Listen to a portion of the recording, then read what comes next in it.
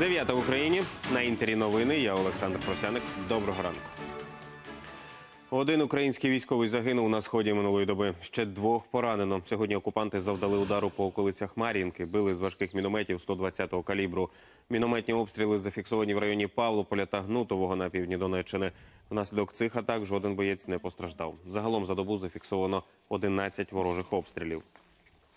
Вогневої атаки напередодні зазнали наші захисники поблизу селища Шуми, що поруч з окупованою Горлівкою. Окупанти дев'ять разів били з мінометів і гранатометів по українських позиціях. Докладніше у матеріалі Руслана Смещука. получается, э, посекло вот, осколками. Он попал в раму, сдетонировал, и э, первый кумулятивный просто струя пошла, а второй как болванка зашла. Селище Золоте на Луганщині. Більшість території контролюють Збройні сили України. Частина тимчасово окупована. Скільки тут стоїмо за нашу ротацію, не було такого, якби дня, не було такого.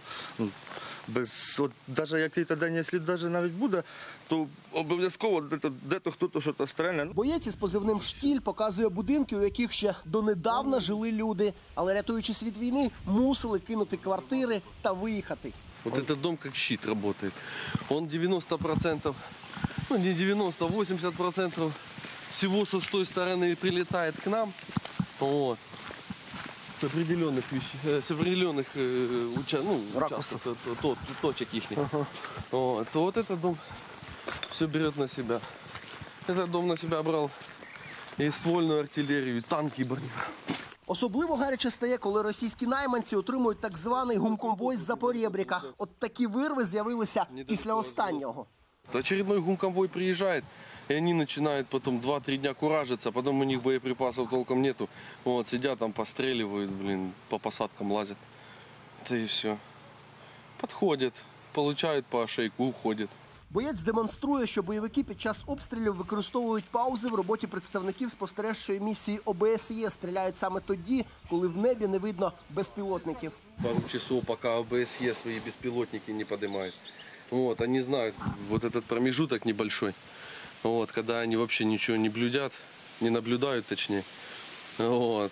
Они только те сели, те начали работать, те начали поднимать, смотреть откуда, все. У нас 300 тысяч нарушений, у них ни одного. Ще однією проблемою є густі чагарники. За останні кілька тижнів місцевість навкруги заросла кущами. Тож тепер супротивник підходить ближче, а це додає напруження, адже необхідно бути готовим до всього. З Луганщини Руслан Смещук, Вадим Ревун та Іван Шеремет. Новини телеканал Інтер. Конституційний суд обрав нового голову. Відповідну інформацію оприлюднили на сайті КСУ. Згідно з повідомленням, новою очільницею стала Наталія Шаптала. Напередодні на зборах суддів КС було ухвалене рішення про недовіру його голові Станіславові Шевчуку. Потім судді підтримали постанову про його звільнення. Сам Шевчук на своїй сторінці у Фейсбуці назвав це антиконституційним переворотом. Заради стратегічного партнерства з Вашингтоном Україні потрібно провести прозоре і неупереджене розслідування, як саме у Києві намагалися вплинути на підсумки американських виборчих перегонів 2016-го. Про це в ексклюзивному інтерв'ю подробицям сказав особистий юрист е, Дональда Трампа Руді Джуліані. Провести розслідування дуже важливо, поза як те, що сталося в Україні, неможливе у Сполучених Штатах. І я сказав президентові: якщо ми з'ясуємо, що саме відбувалося, це дасть нам пояснення, звідки взялися ці брехливі звинувачення щодо так званої змови з росіянами. Якби розслідування провели, то ми побачили би діяльність українських чиновників за спиною громадян України. Таких осіб було багато, і на жаль, одна з них дуже близька до обраного президента. Повну версію інтерв'ю нашого спецкора з особистим юристом Дональда Трампа Руді Джуліані дивіться сьогодні у подробицях о 20 Звільнити українських моряків закликав Росію держсекретар США Майк Помпео. Про це він заявив під час зустрічі з російським колегою Лавровим у Сочі. У Вашингтоні сподіваються, що Москва домовиться з новою владою в Україні. Також Помпео застеріг Росію від втручання в наступні американські вибори. Крім того, обговорили ситуацію в Сирії та Венесуелі. Я закликаю Росію встановити контакт з новим президентом України і зробити перший крок для того, щоб знайти вихід з нинішньої ситуації. Ми закликаємо звільнити членів екіпажу українських суден, захоплених у Керченській протоці торік. Ми також обговорили, як можна домогтися припинення вогню на Донбасі. Армійська та морська авіація збройних сил організували масштабні навчання на рівненському полігоні. Залучили вертольоти чотирьох бригад. Пілоти тренувалися і вдень, і вночі. Маневри бачила Сніжана Сидорок. Бойовий вертоліт Мі-8 здіймається у небо. Екіпаж отримав завдання знищити ворога, який зачаївся на землі. З бортової гармати поцілив у ворожу броньовану машину піхоти. Легенду навчання точно відпрацював екіпаж повітряного судна. На рівненському полігоні близько двох десятків вертольотів. Поруч з військово-транспортними бойовими суднами й ударні гвинтокрили Мі-24. У нас змішані польоти. Особовий склад тренується в складі пар, ланок. Льотчик першого класу Андрій Любчик за штурвалом крокодила не один десяток років. Бойова авіація застосовувалася особисто в 2014 році. Е, Це вертольоти Мі-24, також Мі-8. Мі-8 вертольот застосовується завжди для перевозки ранених. Щойно завершилися денні польоти. Бойові гвинтокрили готуються до підйому у нічне небо. На шолом пілоти одягають спеціальні окуляри. Даний пристрій дозволяє, я так скажу, в хороші погодні умови, дозволяє нам виконувати е, польоти на висотах від 5 до 15 метрів до 50. 50 метрів це в самих поганих умов. Такі нічні навчання авіатори проводять вперше в історії української армії. Тут на полігоні льотчики можуть відновити прийоми стрільби у бойовому застосуванні. За мінськими угодами таким вертольотам в зоні операції об'єднаних сил стріляти не можна. Та українські вояки на гвинтокрилах постійно чергують на сході країни, перевозять вантажі та поранених. Ця новітня техніка вона дає нам більше можливості е, більш якісно виконувати свої бойові завдання. Е, Раніше ми могли тільки вдень або в- е, трошки вночі, а зараз ми можемо і вдень, і вночі. На полігоні поблизу Рівного військові льотчики тренувалися майже два тижні. Авіація Збройних сил України вкотре продемонструвала, що спроможна виконувати бойові завдання у складних умовах. Сніжана Сидорук, Микола Василюк, телеканал Інтер, Рівненська область. У метрополітені Дніпра запустили потяг української ідентичності. У вагонах розвісили 22 постери до роковин голодомору в Україні. Пасажири зможуть дізнатися про унікальні предмети, культуру, побут, тобто про все, що було характерне для українців як нації та виявилося під забороною в 32-33 роках. Проїхалися в такому потязі і наші кореспонденти. На станцію метрополітену Покровська прибуває на перший погляд звичайний потяг. Однак у вагоні замість рекламних оголошень історичні плакати. На початку ХХ століття українська мова мала бурхливий розквіт. У 1918 році державною мовою е, Української Народної Республіки вона запанувала скрізь від науки до техніки. Всього у трьох вагонах вивісили 22 постери. На них коротка інформація про мову, побут, звичаї, науку та гроші тих часів. Над проектом кілька місяців працювали історики, краєзнавці, музейники. Це все те, чого сьогодні не існує. Ми відроджуємо сьогодні традиції. Ви знаєте, сьогодні є там е, різні народних майстрів і так далі, фестивалі різні. Лише сьогодні ми повертаємося е, від е, того, що раніше було заборонено і знищувалось цілеспрямовано. Пасажирам такий поїзд до вподоби, кажуть, голодомор торкнувся чи не кожної родини. Про історію своїх дідів і прадідів має пам'ятати кожен. Це наша історія. Мої теж предки були під цим пресом. Так що це дуже велике горе для всього народу українського і не тільки українського. Я уверен, что каждый должен об этом знать. Маршрут української ідентичності курсуватиме лише півтора місяця. У Дніпровському метрополітені планують щодня випускати його на різні напрямки. Это будет просто подвижной состав, который будет перевозить пассажиров. Все желающие смогут посмотреть, ну, оценить постеры. Ідея створити потяг української ідентичності належить Національному музею меморіал жертв голодомору. кажуть, цей проект присвятили 85-м роковинам голодомору геноциду. Такі поїзди вже курсують у Києві, а тепер і у Дніпрі. Незабаром вже тематичні плакати з'являться у метрополітенах Харкова. Анастасія Старовойт, Олена Мендалюк, Іван Біленко. Новини телеканал Інтер. Дніпро. Рідні трирічного Крила Бабенка з Черкас просять про допомогу. Він уже півтора року бореться з онкозахворюванням. Дитина принесла операцію та до десятка блоків хімії. Тепер, щоб з'ясувати, чи відступила хвороба, Кирилкові мають зробити дорогий тест за кордоном. Проте грошей родина на це не має.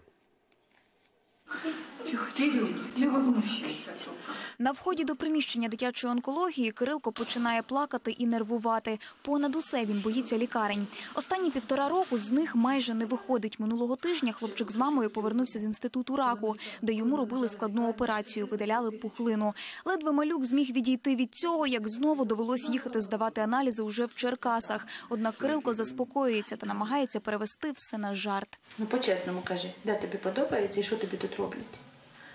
Я статуя. Ну, статуя, це понятно, що ти статуя, розкажи.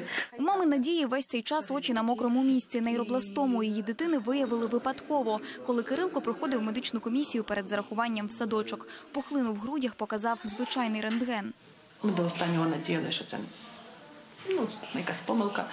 Потім приїхали сюди до Анни Івановни, зробили комп'ютерну томографію, таки підтвердилося, що це пухлина. І пухлина вже займала майже всю грудну клітку. Родина хлопчика і медики хапалися за будь-який шанс врятувати маленького. А от чи допомогло лікування, може зараз показати лише високовартісна діагностика. Він отримав оперативне лікування, 6 курсів планової хіміотерапії, 2 блока високодозової хіміотерапії з підсадкою стволових клітин. Чи потрібна дитині високодозова ще хіміотерапія, ми можемо визнати тільки після цього методу обстеження. Але таке обстеження в Україні не роблять. Провести сканування зголосилася клініка в Італії. Усі послуги тамтешніх медиків батькам Кирилка обійдуться майже в тисячу євро. Та після півторарічної боротьби для них це вже непідйомна сума. Іван Нейліна, Станіслав Кухарчук, Павло Тимошенко. Новини телеканал Інтер. Допомогти хлопчикові можете і ви. Усі необхідні реквізити зараз на екрані. Також їх можна знайти на нашому сайті. Подробності є у розділі Ми допомагаємо.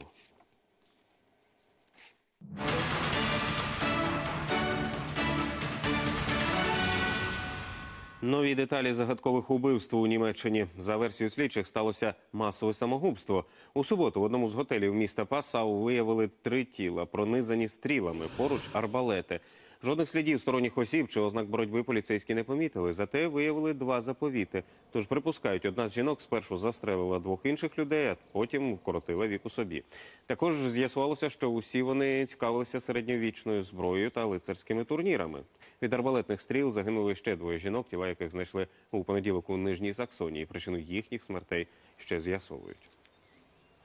Єдине, що ми знаємо напевне, це те, що одна із загиблих у готелі партнерка жінки, тіло якої знайшли у її будинку у Нижній Саксонії. Ми отримали попередні результати розтину, і в них немає ознак того, що між трьома загиблими була бійка чи боротьба. На Балканах потоп потужні зливи залили центральну Хорватію та сусідню Боснію. Під водою опинилися сотні домогосподарств. Спричинені рясними опадами зсуви пошкодили інфраструктуру. Повідомлень про жертви чи постраждалих наразі не надходило. Але у хорватському місті Слуні рятувальники евакуювали з аварійного будинку вісім туристів. Прийняти удар стихій готується і Сербія. За прогнозами синоптиків, пік водопілля мав припасти на сьогоднішню ніч. Дощі не вщухатимуть в регіоні аж до п'ятниці. У Мехіко оголосили надзвичайну екологічну ситуацію. Один із найбільш густонаселених мегаполісів світу оповив густий смог. Уже через лісові пожежі довкола мексиканської е, столиці. Фахівці кажуть, рівень забруднення атмосфери потенційно небезпечний для здоров'я людини. Тож містянам рекомендували зачинити вікна, уникати перебування на дворі. Пожежі у зелених зонах і передмісті вирують від минулого тижня. У Польщі за лічені секунди зруйнували вежу для охолодження на електростанції міста Бензен. Щоб знести 90-метрову бетонну споруду, знадобилося 200 кілограмів вибухівки та місяць підготовки. Зводили будівлю ще в 60-х роках минулого століття. Нині вирішили демонтувати, бо вона не відповідає екологічним вимогам.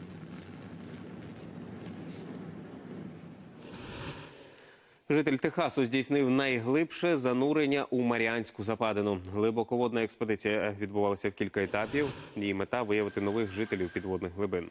Проте науковці замість знайти та вивчити морську флору і фауну натрапили на пластикове сміття. Воно лежить на дні вже багато років. Зрештою, вченим все таки вдалося відкрити нові види ракоподібних. Вони планують підняти кілька особин на поверхню і дослідити вміст мікропластику в їхньому організмі. Найбільший ярмарок вина стартував у французькому місті, місті Бордо. Близько сотні виробників з 30 країн представлять свої новинки. Кожен охочий може відвідати торг, скуштувати, придбати усі напої. Також на унікальних лекціях відвідувачам розкажуть, як кліматичні зміни позначилися на смакових якостях виноградного трунку. Свято вина триватиме до 16 травня. Сучасні комп'ютери, 3D-принтери і роботи у столиці Вірменії створили центр креативних технологій. Завдяки йому збираються полегшити підліткам вибір майбутньої професії. Чого навчають юних інженерів і програмістів, знає Анна Філь. Цього робота, який самостійно заварює чай, зібрали студенти школи Тумо. А ще тут вчать програмувати, розшифровувати середньовічні тексти, створювати комп'ютерну графіку, навіть музиці та боксу. Я почала ходити в Тумо, коли мені було 12, і за три роки я встигла спробувати себе у багатьох сферах. Тут я почуваюся вільно і комфортно. Для мене Тумо це місце, де можна робити все, що захочеш, тому що тут є можливість і все необхідне. Жодних звичайних уроків і оцінок. Студенти обирають курси на свій смак і власноруч складають розклад. У школі Тумо навчаються кілька тисяч студентів. Звичайно, не всі стануть професійними інженерами та програмістами, але тут дітям допомагають зрозуміти, чи справді вони хочуть пов'язати життя з технологіями. Потрапити сюди може кожен цілком безплатно. Єдині вимоги вік від 12 до 18. Навчання триває 2-3 роки. Усі випускники отримують своє цифрове портфоліо, у якому представлена їхня дипломна робота. Вони зможуть показувати цей проект своїм майбутнім роботодавцям і одразу працювати, бо вже мають базові навички. Заснували Тумо вірмени, які повернулися на батьківщину зі штатів. Мета центру навчати дітей, а в довгостроковій перспективі піднімати економіку Вірменії. Адже останнім часом в країні з'явилося чимало стартапів, тож молоді необхідні можливості для розвитку. Наше головне завдання не просто опановувати програмування, а передавати конкретні навички молоді. Ми хочемо допомогти їм будувати кар'єру і стати успішними та впевненими у собі. На екскурсію сюди приїжджали місцеві політики, навіть Ангела Меркель та репер Канні Вест. Схожі центри вже працюють у чотирьох вірменських містах. Незабаром школи мережі Тумо відкриються в Парижі, Бейруті і Тирані. Анна Філь, новини, телеканал Інтер. Речі Майкла Джексона, Курта Кобейна, Леді Гаги і багатьох інших зірок підуть з молотка цієї суботи в Нью-Йорку. Загалом на аукціоні представлені понад 6 сотень лотів. Е, Зелений вовняний кардиган соліста Нірвани продаватимуть не дешевше ніж за 30 тисяч доларів. Гітара співака принца може сягнути в ціні 80 тисяч. А рукопис з пісні Лайка Ролінг Стоун Боба Ділана можна буде придбати щонайменше за 50 тисяч. Як розвиватимуться події, дивіться вже у випуску опівдні. Ну а у мене поки що все. Гарного вам дня і до зустрічі завтра зранку.